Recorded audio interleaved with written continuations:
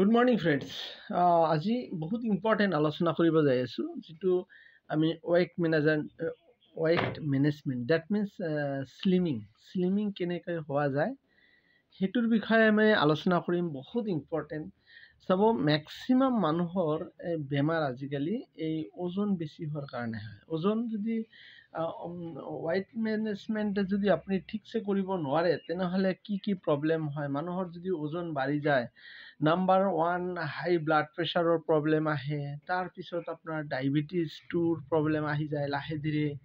তাৰপিছত আপোনাৰ জইণ্ট পেইনৰ কাৰণে প্ৰব্লেম আহি যায়। জইণ্ট পেইনৰ কাৰণে প্ৰব্লেম আহে। এনেকুৱা কৰি মানুহৰ শৰীৰত বেমাৰে বেমাৰ হৈ যায়। সেইকাৰণে আমাৰ কি মানে শ্লিমিং হৈ থাকিব লাগে। শ্লিমিং কেনেকৈ হ'ব?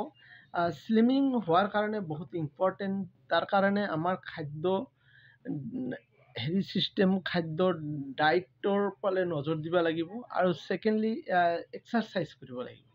এক্সাৰচাইজ বহুত ইম্পৰ্টেণ্ট কম কমচে কম হালকা হ'লেও এক্সাৰচাইজ কৰিব লাগিব।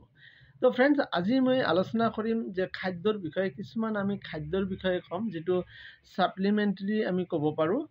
তো সেনেকুৱা ছাপ্লিমেণ্টেৰীৰ বিষয়ে আমি ক'ব যাই আছোঁ। ভেষ্টিছ ভেষ্টিছ আমাৰ এই স্লিম ৰেঞ্জ বেষ্টি শ্লিম ডেন্সত আপোনাৰ প্ৰথমতে আহে শ্লিম কেপচুল শ্লিমিং কেপচুল যিটো শ্লিমিং কেপচুলে আপোনাৰ বহুত ইম্পৰ্টেণ্ট প্ৰত্যেকজন মানুহৰ কাৰণে এইটো বহুত ইম্পৰ্টেণ্ট যিটো মানে স্বাভাৱিকভাৱে ই ভোক কমাই দিয়ে। আপোনাৰ ভোকটো কম লাগিব কিন্তু ভোকটো কম লাগিলেও আপোনাৰ শক্তিটো ঠিকেই থাকে। ছেকেণ্ডলি হ'ল আপোনাৰ কেলৰি বাৰ্ণ কৰিব। কেল কেলৰি মানে আপোনাৰ ফেটি ফেটবিলাক আপোনাৰ পুৰি দিয়ে। যেনেকৈ বিষ মানে আপোনাৰ হেৰি হয় বহুত জাবৰ জোঁথৰৰ দম আছে এনেকৈ জুই লগাই দিলে পুৰি দিলে যেনেকৈ একেবাৰে অলপ হৈ যায় হা ঠিক ছেমে আমাৰ দেহাৰ ভিতৰত যিবিলাক মানে ফেটি আছে ফেট আছে সেই ফেটবিলাক আপোনাক বাৰ্ণ কৰি দিয়ে আমাৰ শ্লিম এই কেপচুলত।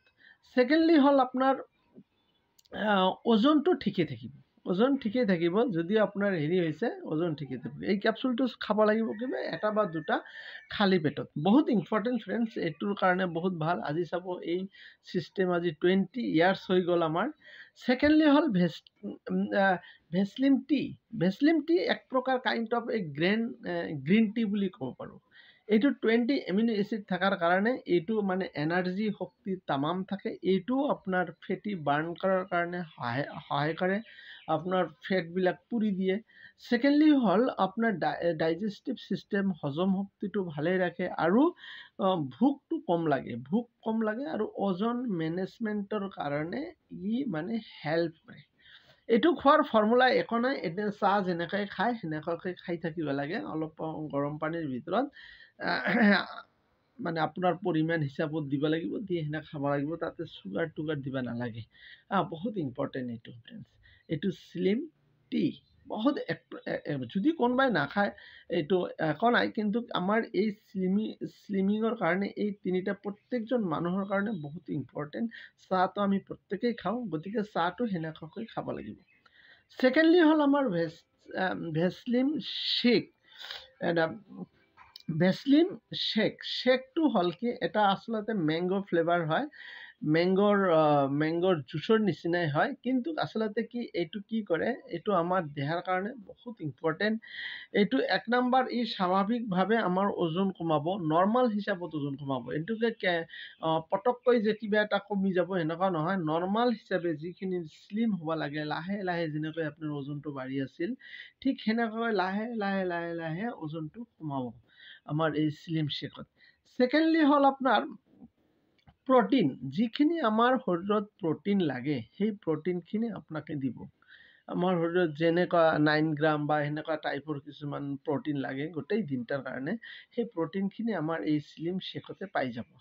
ছেকেণ্ডলি হ'ল আপোনাৰ চেনি চেনি বা চুগাৰ নাখালে দেহটো অলপ কমজুৰি ভাৱ হয় ফিলিং হয় কিন্তু এই শ্লিম শ্বেকটো খালে সেইটো আপোনাৰ নহ'ব নহ'ব মানে এই চেনি খোৱাতে যেনেকুৱা আমাৰ শৰীৰত এনাৰ্জি আহে এটা কেলৰি উৎপাদন হয় সেই বস্তুটো আমাৰ এই শ্লিম শ্বেকতে পাব।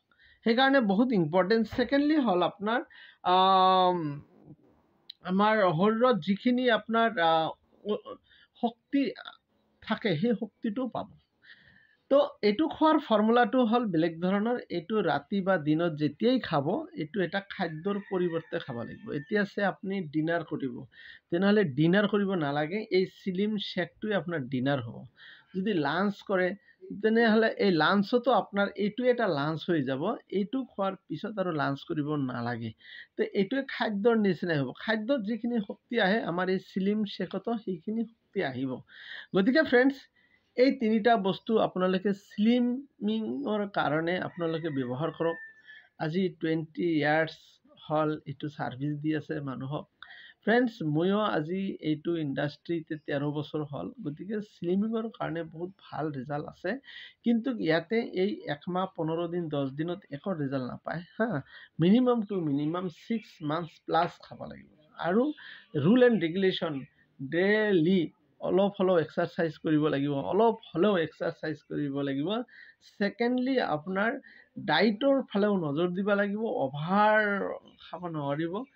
খাদ্যটোৰ আৰু আমাৰ এইবিলাক। তেনেহ'লে আপোনাৰ শ্লিমিঙৰ শ্লিমিং হোৱাৰ কাৰণে বহুত হেল্প কৰিব বহুতে হেৰি কৰিব। গতিকে ফ্ৰেণ্ডছ বহুত বহুত থেংকছ ধন্যবাদ দিছোঁ।